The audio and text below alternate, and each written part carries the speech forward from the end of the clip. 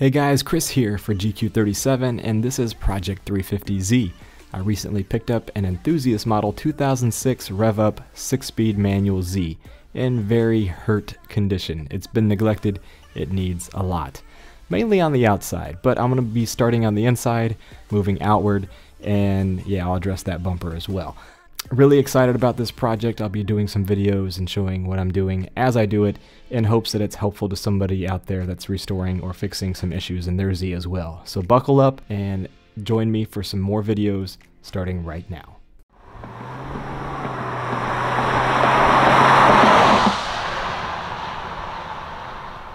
What's that? Dad, I see a horse. See a horse? Yeah. Whoa, look at that.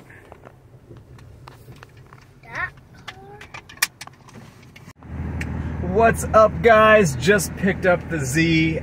So excited about it. It looks awesome. Wearing my orange shirt. Got my orange ring on. Uh, we uh, we matching, but man, this thing looks awesome. I was so excited when he said it was ready. I just I left work at the hospital early, uh, and um, I, I came I came straight to get. I forgot even my uh, camera mount for the car, so I'm just sitting here at a, at a, a stop sign uh, intersection um, to, to even tell you this, but it looks amazing. Oh, loving it. I love this weight dash I had done. Even this big shift knob, this weighted shift knob, as big as it is, it, uh, it feels really good. It shifts smooth. But check out that color. And that color. Yep. Oh, man. So excited. It looks so good. It's so neat to see that pop of orange from within the side of the car. Uh, really, really excited. Really excited about it, y'all. Gary did an amazing job. It looks like a totally different vehicle. I cannot say how excited I am. Love the color. It is so bright. I know this video is not going to do it justice, but uh, it looks it looks amazing out in the sun. And that's the cool thing about shades like this is different times of day when the sun hits it a different way, it kind of looks like a different color.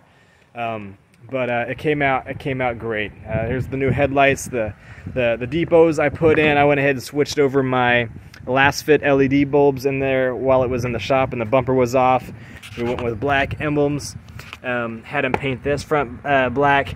We did it flat to match this, but I'm probably going to put a piece of gloss black vinyl across the bottom part because uh, I'm going to wrap the roof gloss black and probably going to do the carbon fiber mirror caps to come. And so that way a little bit of gloss there, we'll tie that in and also it'll protect this from rock chips. So gonna do that. There's lots of other things I, I uh, plan to do. I'm gonna be painting the wheels black probably in a week or so. Gonna sand those down and paint them. Uh, paint the calipers while I'm at it. I do plan on getting different wheels. I wanna go with 19s. That's what I had on my last Z. But uh, I'm just gonna wait to find exactly what I want. And since these have brand new tires on them, I'm gonna go ahead and, and use those and uh, make these look a little bit better. I replaced the door handles while we were at it and uh, had those painted body color just because I think it looks better personally uh, since I'm not going to have any other silver on the outside of the car soon.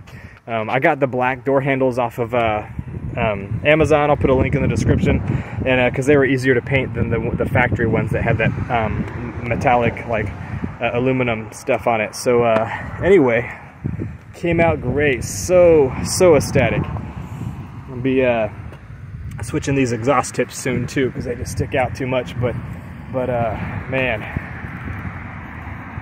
it looks like a totally different car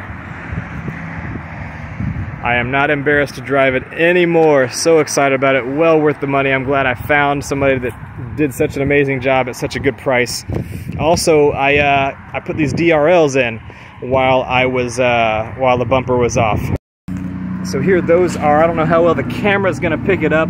They're very bright even during the daytime, um, forward looking. So that gave it a little bit more modern look. I like the, the new Nismos and the new 370s that have those. I really like that. I'll, um, I did somewhat of a video of the of the install. I'll put that in a separate video for anybody interested in that. It was it was real easy. Um, it's just uh, it, it was at his shop where the bumper was off.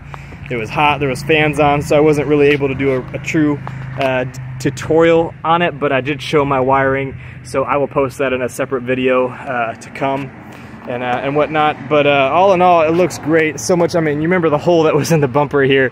Uh, that's all gone. There is some, you know, fitment Uh, this this side's a little looser than the other side. That's just how the bumper was from getting whacked. This side fits a lot tighter, but that's the way it. That's just the way it is.